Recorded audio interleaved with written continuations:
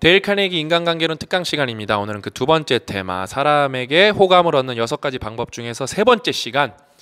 어 이제 원제는 좀 원제가 이렇게 뭐랄까 직관적이진 않아요. 어 당신이 이것을 제대로 하지 않는다면 당신은 곤경에 처할 것이다. 그래서 이제 이것이라고 어 그 비법을 숨기고 있습니다. 그래서 거 여기서 이것이 무엇이냐면은 다른 사람의 이름을 불러주는 것입니다. 그래서 결론은 조금 더 구체적이에요. 뭐 기억해라. 뭐 이름은 너가 들을 수 있는 소리 중에서 가장 뭐 달콤한 소리다. 뭐 이 정도가 결론이어서 이름을 꼭 불러줘라. 이런 내용입니다. 그래서 뭐 이름 불러주면 좋죠. 근데 이게 이제 데일 카네기 인간관계론이 이제 뭐 서, 서구권에서 온 책이니까 사실 이게 100% 우리나라에 맞지는 않아요.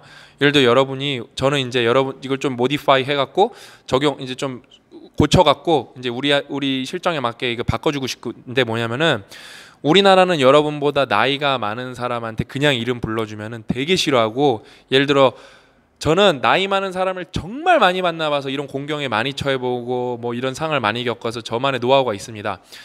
예를 들어 여러분이 제가 여러분보다 나이가 많은데 좀 신영준이라는 꼰대를 만났어요. 그러면은 신영준님 이렇게 불러줘도 싫어요. 우리나라 나이 많은 사람들은 우리나라는 호칭을 같이 불러줘야 됩니다. 뭐 박사님, 뭐 사장님, 과장님, 부장님 그래야 그걸 좋아하는 건 아닌데 그래야 싫어하지 않아요. 제가 옛날에 좀 이제 외국물 먹어갖고 그냥 누군누군님 이렇게 불러준 적이 많았거든요. 되게 싫어하는 사람 많더라고요. 그래서 여러분 이제 데일 카네기 이제 인간관계론을 우리나라 실정에 적용해서 맞게 이름 플러스 호칭을 불러줘야 돼요. 대한민국에서는. 왜냐하면 여러분 맥락이라는 게 다르기 때문에 뭐 나이 뭐 적은 친구들 요즘 세대 친구들은 안 그럴 수도 있겠지만 아무튼 되게 우리나라는 호칭의 문화입니다. 호칭의 문화. 그래서 안전빵이 뭐냐면은 항상 선생님이 제일 안전빵이에요. 왜냐면은 뭐뭐뭐님 하면은 젊은 친구들은 그런 거 이제 뭐 인터넷에서 뭐 이렇게 누구누구 부를 때 존칭으로 부를 때 님 붙여갖고 익숙한 친구들 많은데 나이 많은 어른분들은 그냥 님도 되게 불편해하는 분들 되게 많아요. 제가 그거를 좀 그래서 난처한 을몇 번 겪었다니까요. 근데 언제나 안전빵으로 그냥 선생님이 최고입니다. 선생님. 그냥 여러분보다 어려 보여도 그냥 선생님이라고 부르세요.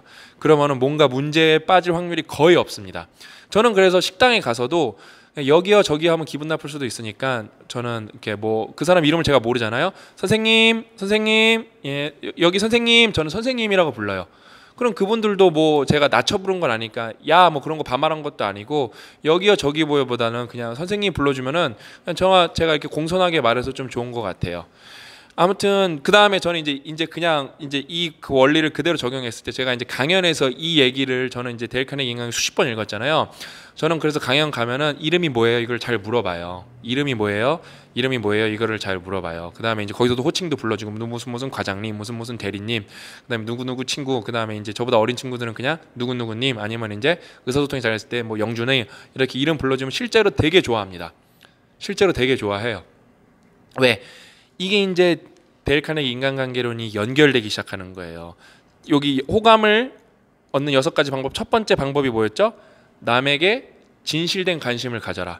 일단 여러분 이름을 불러주는 것 자체가 그냥 여기요 저기 하는 것보다 어, 이름을 불러주는 것 자체가 관심을 갖고 있다는 뜻이거든요. 왜? 관심 갖지 않으면 이름 못 외우잖아요. 그래서 이름을 외웠다는 걸 이미 충분한 관심을 갖고 있다는 겁니다. 거기다 플러스 알파 뭐예요?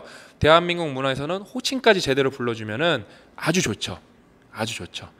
그래서 여러분 이 자꾸 이 이름을 불러주는 습관 플러스 이제 호칭까지 해서 하는 걸 자꾸 습관을 들여보세요. 그럼 생각보다 여러분이 혜택을 얻을 때가 많습니다. 저는 특히 대중 강연을 하고 대중을 만나기 때문에 그러니까 왜냐면은 저는 맨날 여러분들한테 사과하고 저는 항상 사과를 해요. 멘토링 프로젝트 가도 사과를 하고 그 사과 1번이 여러분 내가 이름을 다 외웠어야 되는데 못 외워서 죄송합니다. 그래요. 그러면 저는 아 요거 이제 꿀팁도 넘어갑니다. 그래도 이름은 까먹었지만 그때그때 이렇게 만나지 않았냐? 그 상황 정도는 기억하려고 노력을 하고 아주 머리 쥐가 납니다 그것까지 하려면은. 그래도 저는 안 꺼물려고 되게 노력을 많이 해요. 그래서 실제로 이름을 많이 외우고 있습니다. 예? 정말 이게 생각보다 도움이 많이 되고 이게 관계를 돈독하게 하는데 정말 도움이 많이 되니까 이름을 여러분 꼭 불러주는 그다음에 플러스 알파라 대한민국 문화에서는 호칭까지 붙여주는 연습을 해보세요. 그러면 여러분한테 그냥 이게 일상화가 되면은 여러분도 모르게 어떤 이득과 혜택이 있을 겁니다. 인간관계론에서 여러분은 이길 수 있습니다. 그래서 오늘 이제 방송 마치기 전에 오늘 특집으로 이거 방송 나가는 시점으로 24시간 동안 24시간 동안 여러분 뭐 호칭이라든지 이름이라든지 이 여러분 이름이라든지 그다음에 닉네임이랑 응원 메시지 이렇게 달아주시면은 제가 그거 그대로 쳐갖고 불- 뭐 복붙 안 하고 제가 다 일일이 쳐갖고 너무 길게 다니지 마세요 한 문장으로 하면은 한 시간 동안 아니 하루 동안 다신 분들은 제가 여러분 힘내시라고 제가 댓글 또 쭈르르 카트랑 찍어드리고 다 달아드리겠습니다. 제가 예전에 한번 달아드리니까 빡독에서 실제로 제 이름 불러주시고 해도 너무 좋아하시더라고요. 보셨죠?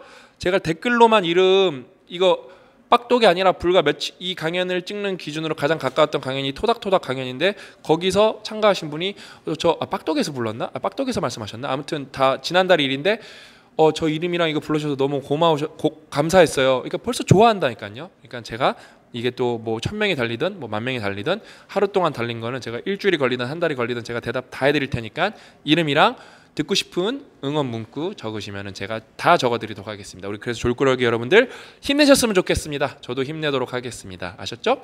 또 만나요.